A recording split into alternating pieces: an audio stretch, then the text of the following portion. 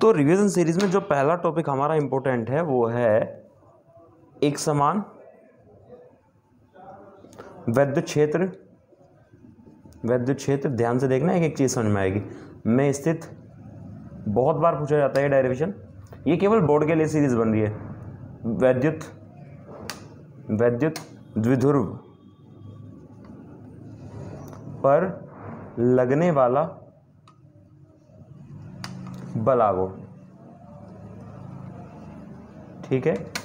Formula जो हम derivative करने वाले हैं, वो होगा हमारा टो बराबर पी साइन थीटा।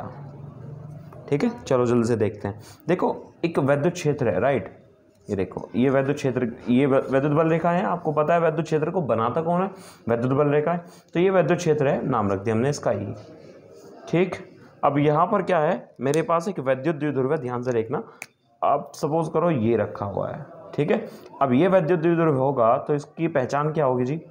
इसकी पहचान होगी कि इसके पास बराबर तथा विपरीत आवेश रखे होंगे। अब इनके बीच की दूरी जो है वो हमने कितनी मान ली? पहले ही हमने मान ली टू ए, ठीक है? इनके बीच की दूरी जो है वो कितनी है? Two A. अब ध्यान से देखो, अगर बल रेखाएँ इधर की ओर जा रही हैं तो सोचने वाली बात है, इधर क्या रखा होगा? पॉजिटिव। इधर क्या होगा? नेगेटिव क्योंकि आपको पता है पॉजिटिव से नेगेटिव की ओर जाती है। अब ध्यान दो कि ये पॉजिटिव चार्ज है और ये अगर पॉजिटिव चार्ज है, यानी कि धनात्मक आवेश है तो प्लस प्लस को क्या करता है? रिपेल तो ये भागेगा इधर की ओर। अच्छा यहाँ आप देखो, ये निगेटिव है। अगर ये निगेटिव है तो निगेटिव पॉजिटिव को क्या करता है? अट्रैक्ट करता है, यानी कि आकर्षित करता है। तो ये भागेगा इधर की ओर। तो कुछ ऐसा मामला बनने वाला है कि एक हिस्सा तो जाएगा इधर की ओर, ऐसे, और दूसरा उठेगा ऐसे। ये घूम गया। और आप सब जानते हैं कि घुमाने के लिए जो बल चाहिए होता है, उसको हम बोलते हैं बलागुण, ठीक है? तो यहाँ पर हमें कुछ चीज़ें चाहिए होंगी जो आपने हाई स्कूल में पढ़ी होंगी, ठीक है? मान लो ये कौन कितना है? थीटा है, ठीक है? ये नब्बे। तो आपको ना बल, देखो, एक बल तो लग रहा है इस तरफ़ को। एक बल लग रहा है इस तरफ़ को तो हमें क्या चाहिए बच्चे? हमें चाहिए दोनों बलों के बीच की लंबवत दूरी, ठीक है? नाम इसका रख लो आप ए इसका नाम रख लिया बी और इसका नाम रख लेंगे सी तो मुझे चाहिए होगा बी सी ध्यान रखना। तो शुरुआत करते हैं, माना आप कर सकते हो, माना एक वैद्युत द्विध्रुव है, जिसके सिरों पर माइनस क्यू तथा प्लस क्यू आवेश, परस्पर एक दूसरे से, टू ए दूरी पर रखे हुए हैं। और अब आप ध्यान से देखना, माना तो आप कर ही सकते हैं। अब यहाँ आप नोटिस करो, आपको बलागुण निकालना है। बलागुण का जो फॉर्मूला होता है, वो बेसिकली हमने पढ़ा हुआ है। बलागुण हमें निकालना है ना? ये फॉर्मूला हमें डेरिवेट करना है बच्चों, ठीक है? तो बलागुण टो बराबर क्या होता है हमारे पास? बल गुणा, कोई एक बल ले लो, ठीक है? मैं ये बल लेने वाला हूँ, ठीक है? बल गुणा, बलों के बीच की, बलों के, बलों की क्रिया रेखाओं क्रिया रेखाओं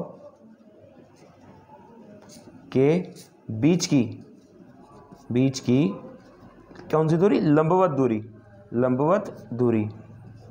ध्यान देना अब इस बात पर, क्योंकि हमने पढ़ा है, टो बराबर कितना होता है? आर क्रोस एफ़ होता है। ठीक है? तो अब देखो, लंबवत दूरी का मतलब ध्यान से देखना। भाई, एक दूरी तो टू ए भी है, लेकिन ये लंबवत नहीं है। आप ध्यान दे, ध्यान दोगे तो पाओगे कि एक बल तो लग रहा है हमारा ये, एक बल तो लग रहा है ये, ठीक है? एक बल लग रहा है ये। तो इनके बीच की दूरी टू ए भी तो है लेकिन नहीं लेनी है, हमें लंबा दूरी लेनी है। तो ध्यान दो, एक तो ये है और एक ये है। इनकी क्रिया रेखा ये है, इनके बीच की लंबा दूरी क्या है हमारे पास यहाँ पर? बी सी, ठीक है? जो हमें निकालनी है। वैसे आपको जानकारी के लिए बता दी, ये फ़ायदा आपको आएगी टू ए साइन थीटा पर आएगी कैसे देखते हैं? तो टो बराबर हमने क्या लिया फिर यहाँ से?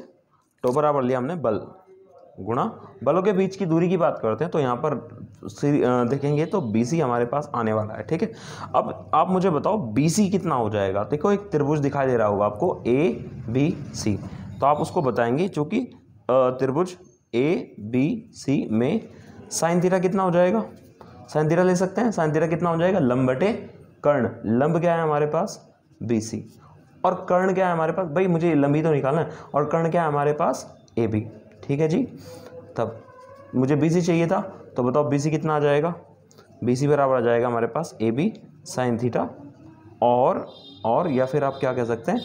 टू ए साइन थीटा क्योंकि हमें दिखाई देता है ए बी कितना है? टू ए ठीक है, यहाँ तक कोई डाउट है? अब देखो हम करने क्या वाले हैं। यहाँ तक आप नोट डाउन कर लो कर लिया? जी तो हमारे पास फॉर्मूला क्या था? टो बराबर कितना था हमारे पास में? आर कुरस था। ठीक है।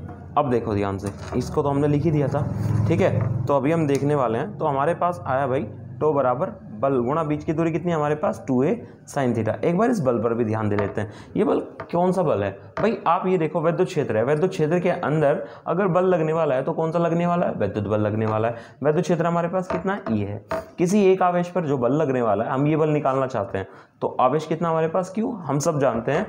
भाई ई बराबर क्या होता है? हमने पढ़ा है एफ़ बाई क्यू पढ़ा है? या एफ़ बराबर कितना आ जाएगा यहाँ से हमारे पास? भाई आ जाए क्यू रख देंगे इधर तो कितना आ जाएगा? क्यू ई तो हमारे पास एफ़ भी आ गया और ओ बी भी आ गया। तो हम दोनों की वैल्यू रखेंगे, रखो। तो टो बराबर कितना आएगा? टो आएगा हमारे पास में एफ़ की जगह Q E multiply two A sine theta ठीक है?